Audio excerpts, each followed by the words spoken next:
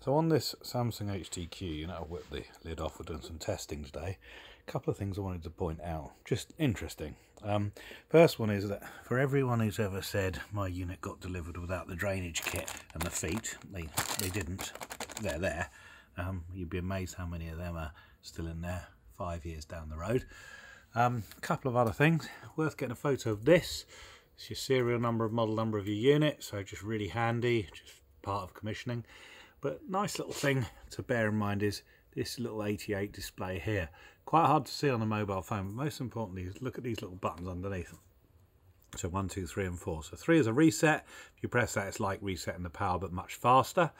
number four allows you to access a menu. Um, so each time you press it, this display changes to one, two, three, four, and then you read the data here. So for instance, um, number one is the speed the compressor should be running at. Number two is the speed the compressor is running at.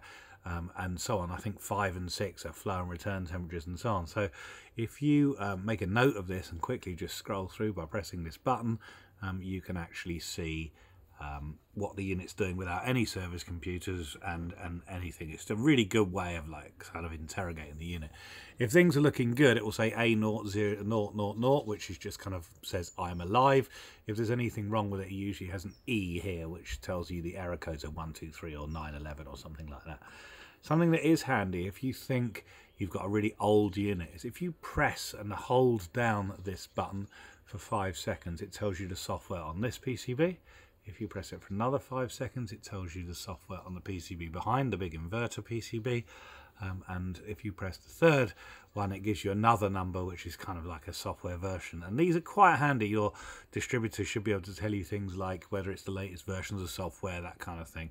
Um, and this has always been the case on Samsung units, right back to day one. So it's always these buttons are used for these uh, bits and pieces. If you think you've got like refrigerant problems or your unit's not working very well and so on, if you get the unit running, running well, and then go through and press this K4 button and make a note on a bit of paper or read it out. I tend to video it like this and read what it's saying because the phone, as you can see, doesn't pick it up. So I go 105, 206 and so on and send that video over to your technical support guy. They it's like they're inside the unit so it makes the life really really easy to fix the system